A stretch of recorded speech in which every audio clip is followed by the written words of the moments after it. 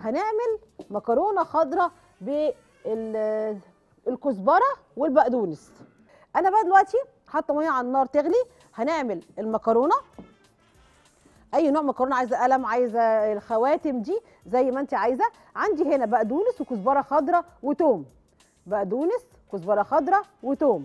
هعمل بيهم إيه؟ هعمل لها صلصة. ما دام كل مرة بنعمل مكرونة بصلصة حمراء أنا لأ أنا النهارده هعمل لها صلصة خضراء. البقدونس والكزبرة.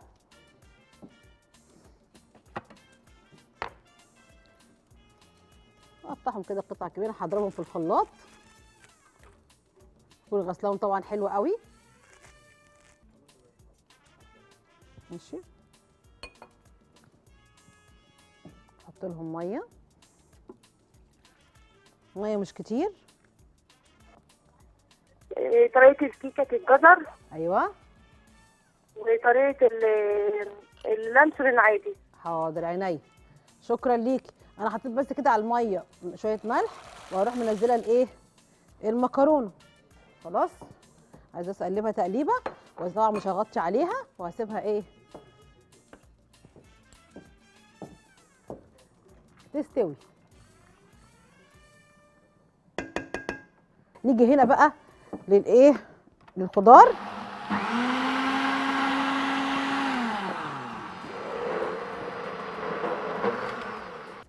اعملها عصير؟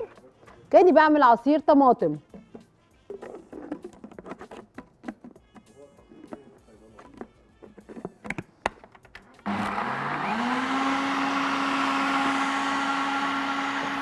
أبدأ إن أنا أعمل الصلصة بتاعت المكرونة الخضراء دي.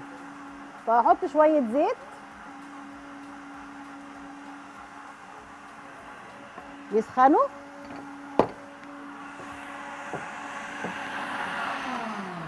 بس كفاية عليها كده. شوية زيت يسخنوا وهديها تومة.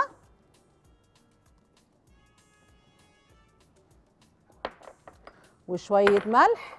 لارا أهلا وسهلا. ماشي؟ لا أمي عملت لنا حمص شام ده جميل جدا جميل جدا. تسلم إيديها تحياتي ليها يا حبيبتي. أنا دلوقتي هسيب بقى الخضرة دي تتسبك شوية. اللي أنا حاطة لها هي حزمة بقدونس وحزمة كزبرة. ضربتهم في الخلاط مع نص كوباية مية وحطيت التوم واسيبها بقى إيه تغلي حلو قوي وتتسبك شوية. تمام كده؟ أنا كده خلاص بصوا كده خلاص أهي. طبعا ما بت- ما بتنشفيش قوي الصوص الأخضر ده قوي لا يعني بتخلي فيه شوية صوص علشان المكرونه تشربه أهي بصوا بقى كده.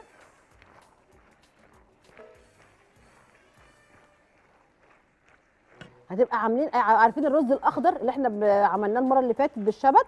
دي تبقى زيه كده.